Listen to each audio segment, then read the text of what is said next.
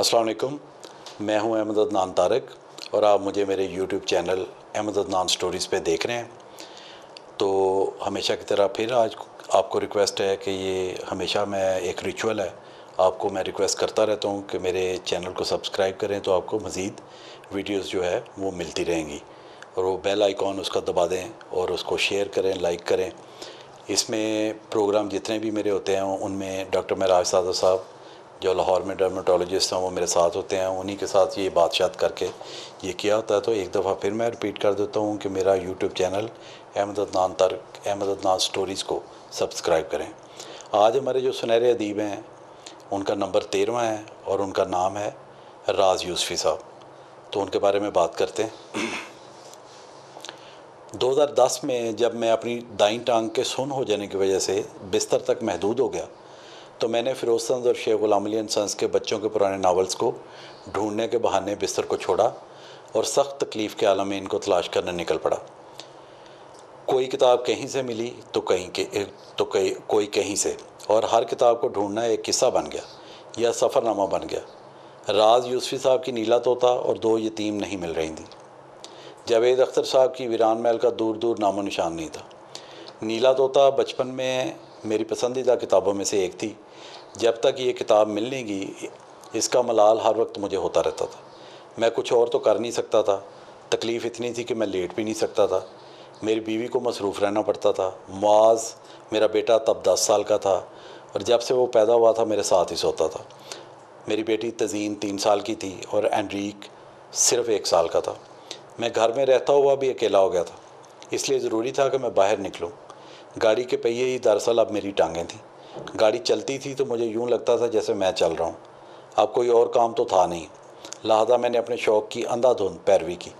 उन दिनों में ये सोचता रहता था कि नीला तोता पता नहीं किस अलमारी में पड़ी होगी, या उसका मालक कौन होगा, मुझे अब कभी ये किताब मिलेगी भी या नहीं। उन दिनों कमालिया में मेरे एक दोस्त के अज़ीज़ इंतकाल कर गए थे।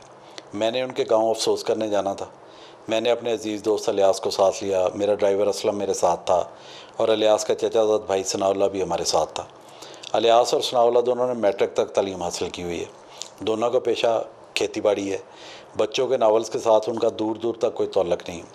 लेकिन मेरी इन नावल्स की गर्दान की वजह से अलियास और सनावला को भी कई ऐसे नावल्स के नाम याद हो गए थे। दो चार दिन बाद अगर हमारी मुलाकात होती थी तो वो पूछा करते थे कि, सुनाए शेख साहब, आपको नीला तोता मिल गया या कहीं से वीरान महल का कोई सुराग लगा उन्होंने मज़ाक करना और मुझे ऐसे लगता था जैसे उन्होंने मुझे ताना मारा क्योंकि बीमारी की वजह से मैं चिड़चिड़ा तो हो ही चुका था।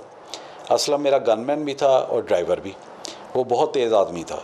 उसे इस बात का बहुत दुख था कि शायद अब पुलिस की नौकरी में दोबारा कभी नहीं कर सकूँगा। उसे मेरे बारे में अफसोस तो था ही, लेकिन ज़्यादा उसे अपनी रोटी रोज़ी का फ़िक्र था। मैं तो उसे तनख्वाह देता ही था, लेकिन मेरी आँख बचाकर वो थाने में कुछ ना कुछ हेरी फेरी करके पैसे कमा ही लिया करता था। वो इतना मायूस था कि कई दफ़ा उसने इस बात का बरमला इजहार भी किया। लेकिन मेरी अदम मौजूदगी में कि हो सकता है शेख साहब की दाई टांग काट दी जाए। या जब मैं गाड़ी में बैठकर मुख्तलिफ़ शहरों में जाकर किताबें ढूंढता तो मुझे महसूस होता कि वो अब मुझे पागल समझता है, जिसके जेन पर इस बीमारी ने असर डाला है। खैर, हमने कमालिया का सफ़र किया। कमालिया के बारे में मुकम्मल जानता था, क्योंकि दो दफ़ा मैं थाना सिटी कमालिया का एस एच ओ रह चुका था। और फिर जब मेरे दादा हिजरत करके हिंदुस्तान से पाकिस्तान आए तो कमालिया में ही अपना घर बनाया। लेकिन कमालिया से 20 मील दूर चीचा वतनी के बारे में मेरा खुफिया प्रोग्राम था कि पता करके आऊँगा, हो सकता है चीचा वतनी में कोई लाइब्रेरी बकाया हो। लेकिन मेरे प्रोग्राम की अगर भिनक भी मेरे साथियों के कानों में पड़ जाती तो शायद वो मेरे साथ फौतीदगी वाले घर भी जाने से इनकार कर देते। खैर, हम कमालिया से फारू हुए तो मैंने दाव से दूसरे साथियों को कहा कि चीचा वतनी भी एक फौतीदगी हुई है, ज़रा उधर से भी हो लें। तो यूँ मैं उन्हें सांस लेकर चीचा वतनी रवाना हुआ। शहर में दाखिल हुए तो बाएँ हाथ मुझे एक जिल्द साज की दुकान दिखाई दी। वो मेरे काम का आदमी था। मैंने दोस्तों को कहा, इससे पता पूछते हैं। हौसला करके मैं गाड़ी से उतरा और उसके कान में पूछा कि क्या यहाँ कोई लाइब्रेरी भी है? तो उसने मुझे जिनाह लाइब्रेरी का बताया। जब हम मतलूबा मुकाम पर पहुँचे तो देखा कि पुरानी तर्ज की किताबों से भरपूर लाइब्रेरी, जिसमें किताबें तो हैं लेकिन उन पर बेतहाशा मिट्टी है। गौर से देखे तो दीमक लगने का भी आगाज़ हो चुका है। मेरे दोस्तों को मेरे धोखे का मालूम हो चुका था। इस लाइब्रेरी के बिल्कुल सामने एक जूस और मिल्क शेक की रेडी खड़ी थी। लाइब्रेरी के सामने शीशे से बने हुए काउंटर पर पुराने तर्ज की फहरिस्त कुतब बनी हुई पड़ी थी, जो पुरानी तर्ज की भी थी और बहुत पुरानी भी थी। इनमें बच्चों की कुतब की फहरिस्त भी थी। इसकी वर्ग गर्दानी से मालूम हुआ कि जैसे मैं इतनी जद्दोजहद के बाद अपनी मंजिल मकसूद तक पहुँच गया। इस फहरिस्त के तो में नीला तोता भी थी तो वीरान महल भी। इन दो किताबों के दरमियान जिन कुतब को पा लेने की मेरी तमन्ना थी, वो सब कुतब भी मौजूद थी। मैंने साथ वाली दुकान से इस लाइब्रेरी के मालक के बारे में पूछा तो उन्होंने बताया कि ये मिल्क शेक वाली रेडी भी उन्हीं की और वो नमाज़ पढ़ने गए आप फ़ोन कर लें। मैंने नंबर लेकर फ़ोन किया तो तारक साहब, लाइब्रेरी के मालक से मेरी बात हुई और मैंने आने का मकसद बताते हुए उन्हें अपना तारफ़ करवाया। मेरे दिल में सिर्फ़ खटका इस बात का था कि काश ये किताबें बिक ना गई हों, वरना लाइब्रेरी के बाहर मिल्क शेक की रेडी इस बात पर मुँह चढ़ा रही थी कि लाइब्रेरी के दिन लद गए हैं। इसलिए किताबें हुई तो मालिक मुझे बेचने में बिल्कुल नहीं हिचकिचाएगा। लेकिन इस सोच के बिल्कुल मामला उल्टा निकला। तारक साहब ने मेरी बात सुनी और कहा कि वो किसी कीमत पर अपनी किताबें बेचना नहीं चाहते। मैंने दरख्वास्त की कि मेहरबानी फरमाकर दीदार तो करवा दें तो वो दुकान पर आ गए। तो मैंने उन्हें दरख्वास्त अमेज़ धमकी दी।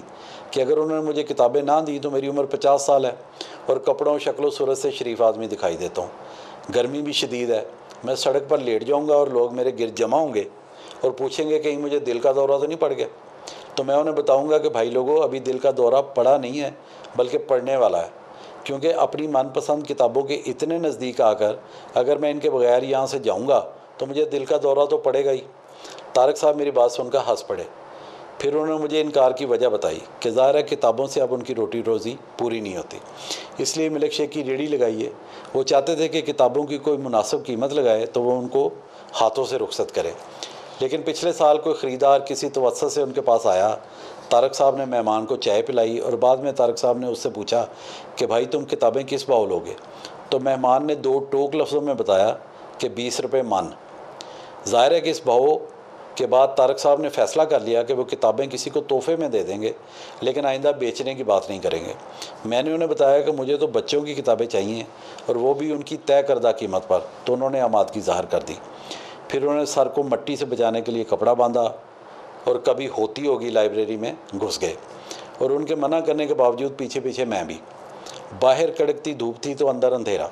किसी न किसी तौर पर हमने अपनी मतलूबा किताबें जिनकी तादाद बत्तीस थी निकाल ही ली। और मैं दम बखुद था जब हर किताब निकलती और टाइटल देखे बगैर नंबरों की मदद से हम किताब निकालते जाते। हम तकरीबन एक घंटे में फ़ारग हो गए और किताबों और फहरिस्ताए कुतब समेत लाइब्रेरी से बाहर आ गए। मट्टी से मेरे काटन का सूट का हशर नशर हो चुका था और हर तरफ़ मट्टी ही मट्टी थी। बाहर निकले तो कपड़ा लेकर सार मुँह झाड़ा और फिर पूरे ज़ोर शोर, लेकिन पूरी एहसास से किताबें भी। तब डरते डरते उनके सरे वर्क देखने शुरू किए। तो इस तरह मैंने इतने सालों के बाद नीला तोता और वीरान महल की शक्लें देखी। मैंने वादे के मुताबिक तारक साहब से उन किताबों का हदिया दरियाफ्त किया तो उन्होंने बत्तीस किताबों की मुझसे छः सौ चालीस रुपये मांगे, यानी बीस रुपये फ़ी किताब। तो मैंने उन्हें बटवे से निकाल कर चौंसठ सौ रुपये दिए। उन्होंने वजह पूछी तो मैंने उन्हें समझाया कि वो नहीं जानते कि इस एक एक किताब को ढूँढने के लिए मुझे क्या जतन करना पड़ते। उन्होंने मुझे कहा कि मैंने क़्यामत वाले दिन उनसे कोई तकाजा नहीं करना। जिसका मैंने हंसकर वादा किया। फिर उनकी बताई एक और लाइब्रेरी पर शेख गुलाम अली सन्स की भी कई किताबें मुझे मिली। तालीम तरबियत पढ़ने वाले बच्चे राज यूसफ़ी साहब को अच्छी तरह जानते हैं। उन्हें बचपन से ही कहानियाँ कहने और सुनने का शौक़ था। जब ज़रा बड़े हुए तो इसी शौक़ ने उन्हें कहानियाँ लिखने पर उकसाया। कुछ अरसा बच्चों के रसालों में लिखते रहे और फिर बड़ों के लिए लिखने लगे। कहानियों के अलावा आठ दस किताबें भी लिखी। वो 29 नवंबर उन्नीस को लाहौर में फ़ौत हो गए। वो अदीब भी थे, शायर भी, ड्रामा और नावल नगार भी। इसका मतलब है कि फ़िरोज़ सन्स की तरफ़ से उनकी ये शुरा आफाक बच्चों की कुतब साठ की दहाई में छपी और उनकी यादें आज भी हमारे दिल में ज़िंदा हैं। फ़िरोज़ सन्स की तरफ़ से मुख्तलिफ़ अदीबों की कहानियों पर मुश्तमिल एक किताब छपी था, छपी थी जिसका नाम शाहकार कहानियाँ था। ये किताब बड़ी अहम है। इस किताब का ज़िक्र मकबूल जहांगीर साहब के बारे में मजमून में भी था और सईद लक साहब के बारे में मजमून में भी था। क्योंकि इन साहब की एक एक कहानी भी इस किताब में शामिल थी। इसी तरह राज यूसफ़ी साहब की एक कहानी, ताजमहल भी इस कहानी में, इस किताब में शामिल थी।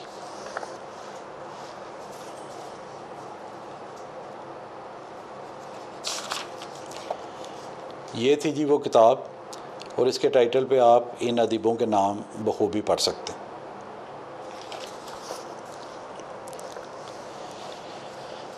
इसी तरह राज यूसफ़ी साहब की एक कहानी ताजमहल भी इस किताब में शामिल थी। राज यूसफ़ी साहब इस कहानी में बताते हैं कि मशरकी पंजाब के ज़िला जलंधर में एक छोटी सी तहसील का नाम नवा शहर है। इसका एक छोटा सा रेलवे स्टेशन है, जहाँ दिन में सिर्फ़ एक बार गाड़ी आती थी तो तब स्टेशन पर थोड़ी चहल पहल हो जाती थी। ताज़ा रोटी, चाय गर्म की आवाज़ों से स्टेशन का माहौल गूंज उठता था, लेकिन गाड़ी के चलते ही हर तरफ़ एक गहरा सन्नाटा छा जाता था, और यूँ मालूम होता था जैसे ये स्टेशन ना हो, कोई कब्रस्तान हो। स्टेशन से बाहर निकलकर एक पक्की सड़क एक छोटे से कस्बे में पहुँच जाती जिसका नाम सलवा था। ये कस्बा स्टेशन से एक मील के फासले पर था। उन्हें इस कस्बे के टूटे फूटे घरों, गंदे जोहड़ों और गलीज गलियों से उतनी ही मोहब्बत थी, जितनी उन्हें अपनी प्यारी अम्मी से थी। क्योंकि उनकी अम्मी इसी कस्बे में पैदा हुई थी और इस तरह ये छोटा सा कस्बा उनका ननिहाल बन गया था। राज यूसफी साहब का तारफ़ ढूंढना भी जुए शेर लाने के मुतरदफ़ था। इस कहानी की ये लाइन्स हम की वाइल ज़िंदगी के परतों के तौर पर भी देख सकते हैं। वगना कहानी में वो एक बहुत गरीब लड़के की दास्तान कहते हैं कि किस तरह उसने कसम पुरसी में तालीम हासिल करके कर्ज़ लेकर इंग्लिस्तान का सफ़र किया और फिर अपने गाँव को नहीं भूला, क्योंकि उसके लिए उसका ताजमहल उसका गाँव ही था। लिहाजा उसने ताजमहल के तर्ज पर अपने गाँव में भी ताजमहल तामीर करवाया, मस्जिद बनवाई और गाँव की तरक्की के लिए काम किया। उसकी इन नेकियों की वजह से जब वो एक्सीडेंट में फौत भी हो गया तो हर साल गाँव के लोग उसे याद करने के लिए गाँव में मेला लगाते और उसकी रूह के साल के लिए फ़ातह खानी करते। इस कहानी में लगता है कि राज यूसफी की अपनी कहानी छुपी हुई थी। ऐसी ही कहानियों की वजह से इस किताब को शाहकार कहानियाँ का नाम दिया गया। बहुत सबक आमोज और पुरसोज कहानी। फिरोज की तरफ़ से मुख्तलिफ़ अदीबों की यादगार कहानियाँ लेकर एक और किताब छापी गई, जिसका नाम था खूबसूरत कहानियाँ। और ये थी जी वो खूबसूरत कहानियाँ।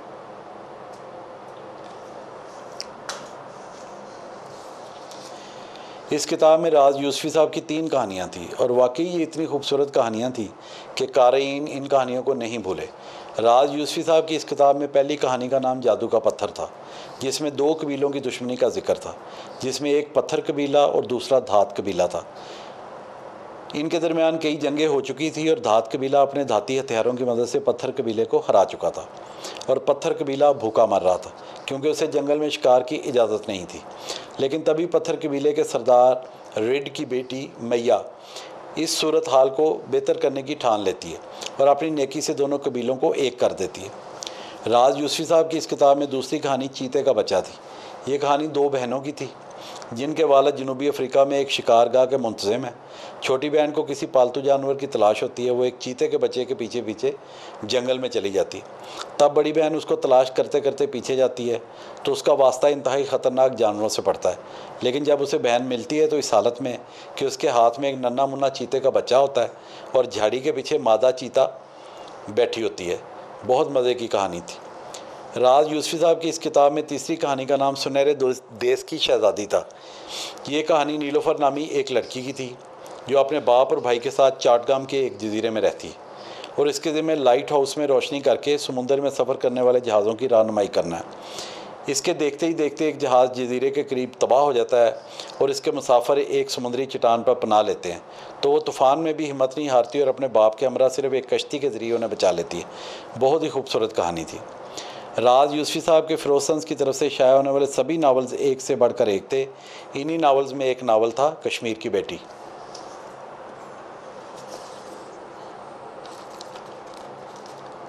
ये था जी वो नावल, कश्मीर की बेटी।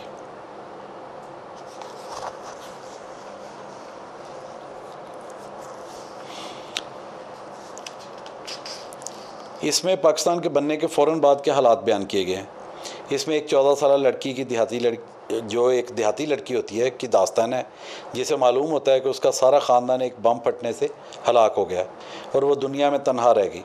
तब उसकी ज़िम्मेदारी एक हवालदार शेर दिल लेता है, वो उसे बेटी बना लेता है, लेकिन वो मुल्क के लिए लड़ना चाहती है। इसका नाम शाहीना होता है, लेकिन वो बेस बदल कर शाहीन बन जाती है और जंग लड़ने चली जाती है। वो रजाकाराना तौर पर उस दस्ते में शामिल होती है, जिसके ज़िम्मे एक पुल को तबाह करना होता है। बम तबाह हो जाता है उसकी टांग में गोली लग जाती है और शेर दिल शहीद हो जाता है। एक दफ़ा फिर वो दुश्मन की कैद में चली जाती है, लेकिन आज़ाद हो जाती है। जंग ख़त्म होने के बाद खुदा उसकी सुन लेता है। उसकी मुलाकात उसके माँ बाप से हो जाती है, जो उससे बिछड़ चुके होते हैं। और जब जनरल साहब को मालूम होता है कि वो लड़की नहीं, वो लड़का नहीं, लड़की है तो उसका ब्याह अपने बेटे से कर देते हैं। एक लड़की की हिम्मत और शुजात से भरपूर दास्तान जिसे पढ़कर कारी हैरान रह जाता है।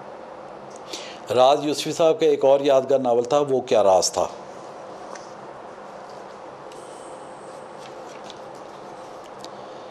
ये था जी, वो क्या राज था?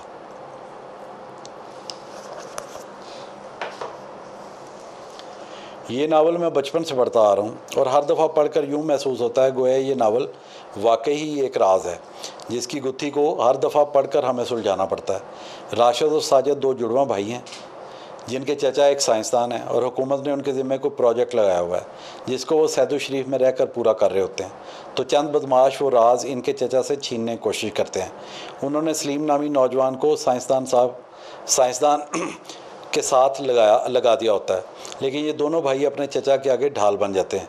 सैदू शरीफ में इनके चचा के घर के नज़दीक बहुत बड़ी दलदल होती है, जिसमें खुफिया रास्ते बने होते हैं और उनमें एक ज़ाहरी तौर पर मखबूतुल हवास लगने वाला शख्स दादू साई रहता है, जिसे इस दलदल के अंदर ही अंदर हज़ारों रास्तों का इलम होता है। आखिर में बदमाश इन लड़कों के चचा को अगवा करके दलदल में ले जाते हैं तो दादू साई इनकी मदद करता है और दोनों भाई आखिर इस ग्रोह को कैफरे करदार तक पहुँचा देते हैं। बहुत मज़े का नावल है, जब पढ़ो ऐसा लगता है कोई नया नावल पढ़ रहे हैं। फ्रांस के एक अदीब जैक्सन बोनजोन ने बच्चों के लिए एक नावल लिखा था, जिसका नाम सुमित्रा का यतीम था। राज यूसफी साहब ने उसे अंग्रेज़ी ज़बान में पढ़ा था, तब उन्हें लगा कि वो जितनी देर तक ये कहानी अपने माहौल के मुताबिक नहीं डालेंगे पाकिस्तानी बच्चों को मज़ा नहीं आएगा।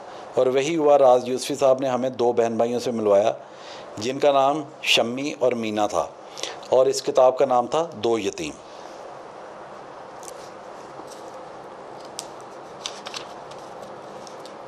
ये था जी नावल दो यतीम।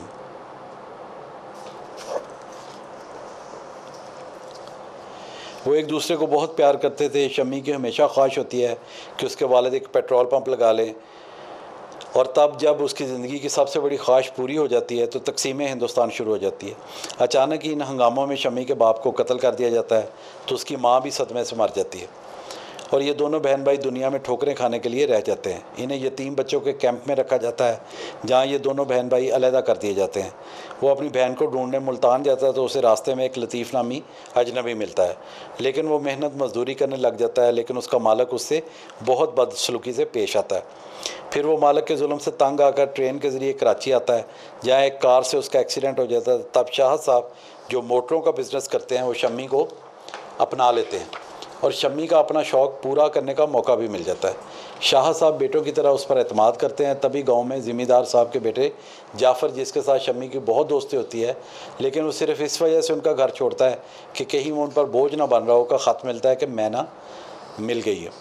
तब शाह साहब और शम्मी मुल्तान जाते हैं तो मैना मिलती है और उन्हें अपनी दुख भरी कहानी सुनाती है कि किस तरह उसे एक थिएटर में नाचने पर मजबूर किया जाता है।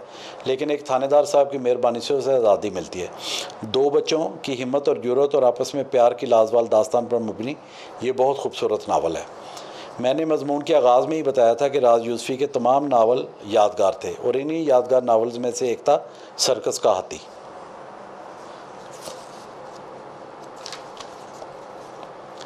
ये था जी सर्कस का हाथी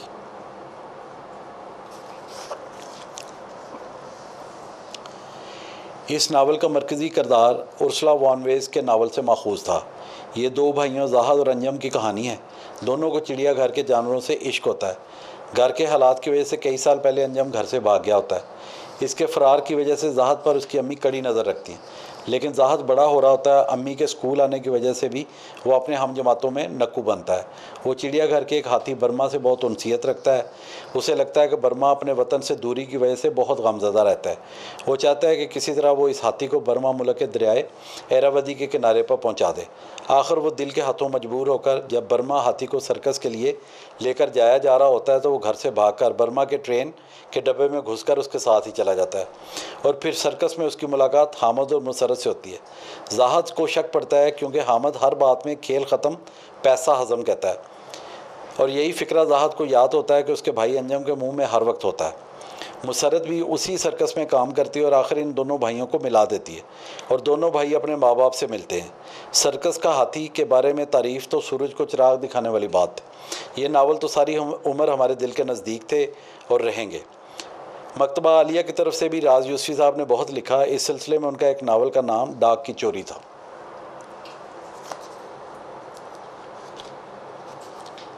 ये था जी डाक की चोरी।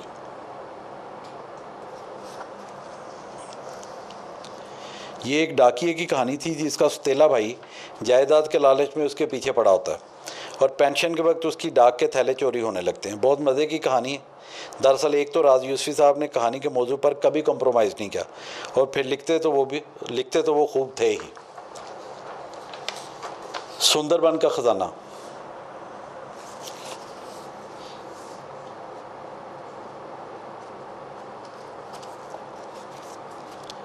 ये था जी सुंदरबन का ख़जाना। राज यूसफी साहब का एक, की एक और बहुत पुरसरार कहानी पर मबनी नावल था। हमारे दौर में कोई लाइब्रेरी बच्चों के इस नावल के बगैर मुकम्मल नहीं समझी जाती थी।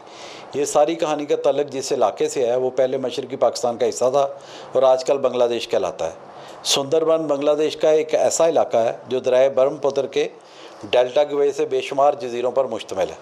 सुंदरबन में ही तीन प्रोफेसर्स के हाथ मेंढक वाले ख़जाने की मालूम तीन चाबियाँ और एक तख्ती लगती है। तख्ती पर लिखी इबारत पढ़ने से पहले ही वो तख्ती चोरी हो जाती है। और इसी तरह तीन प्रोफेसर में से एक को तफजल नामी डाकू अपने साथियों के हमरा अगवा करके एक जजीरे में कैद कर देता है। जबकि दूसरे प्रोफेसर को शुबा होता है कि कहीं ख़जाने के लालच में प्रोफेसर खुद ही ना भाग गया हो। तब वो एक प्राइवेट सुराग रसा की खदमात लेते हैं और ये काम प्रोफेसर फ़ारूकी करते हैं, जो गायब होने वाले प्रोफेसर ताहिर के अज़ीज़ होते हैं। सुंदरबन, खुलना चटागांग के दरमियान के बार बार सफ़र से हमारी उम्र के लोगों को वो इलाके याद आते हैं, जब कभी वो हमारे मुल्क का हिस्सा हुआ करते थे। बार कभी सुरागर शाह का बेटा खालिद अपने दोस्त रऊफ़ के साथ मिलकर ना सिर्फ़ प्रोफेसर तायर को ढूंढ निकालता है, बल्कि ख़जाना भी ढूंढ लेता है। बहुत बेजिगरी से लड़ने वाले लड़के की दास्तान, जिसकी मुठभीड़ इंतहाई बड़े बदमाशों से होती है, आप ये नावल पढ़ेंगे तो आशा शिकार उठेंगे। दूसरे अदीबों के मजामी की तरह मैंने इस मजमून में भी नीला तोता को आखिर में रखा है। असल में इस मजमून की शान ही यूँ बनती थी कि अगर इसे खुदा के नाम के बाद नीला तोता से ही शुरू किया जाता और फिर नीला तोता पर ही ख़त्म किया जाता।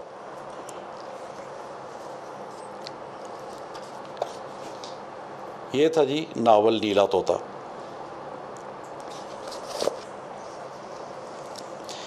बल्कि मेरे अपने ज़ाती ख्याल में भी फ़िरोज के नावल्स की दास्तान भी इसी नावल से शुरू होनी चाहिए और इसी से ख़त्म होनी चाहिए।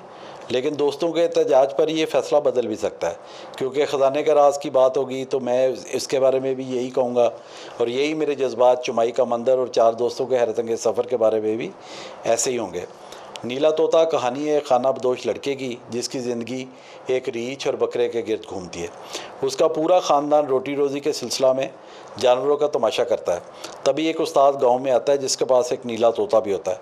वो चाहता है कि लड़का तालीम हासिल करे। इस उस्ताद की सारी जायदाद इसी गाँव में होती है और दो ज़िम्मेदार घरानों के झगड़े की वजह से गाँव छोड़कर चला गया होता है। गैर महसूस तरीके से दोनों एक दूसरे की मदद करते हैं और बिलाकर ये लड़का पढ़ लिख जाता है। इस नावल का मरकज़ी ख्याल भी एक फ़्रांसीसी नावल से माखूज है, लेकिन इसे उर्दू का एक शाहकार नावल बनाया मोहतरम राज यूसफ़ी साहब ने। मुझे कभी लगता है कि जन्नत में एक कॉलोनी होगी, जिसमें इन सुनहरी अदीबों के घर होंगे और ये अपने अपने घर के टेरेस पर बैठे बच्चों के लिए कहानियाँ लिख रहे होंगे। दुनिया वाले इन्हें भूले बैठे हैं लेकिन जन्नत में इनका बहुत बड़ा मुकाम और बहुत बड़ा नाम होगा। मेरा मजमून तो इधर ख़त्म हो जाता है, लेकिन फिर आपसे रिक्वेस्ट है कि मेरा जो यूट्यूब चैनल है अहमद अदनान स्टोरीज़ उसको प्लीज़ सब्सक्राइब करें, ताकि आपको मज़ीद वीडियोज़ मिलती रहे। शुक्रिया।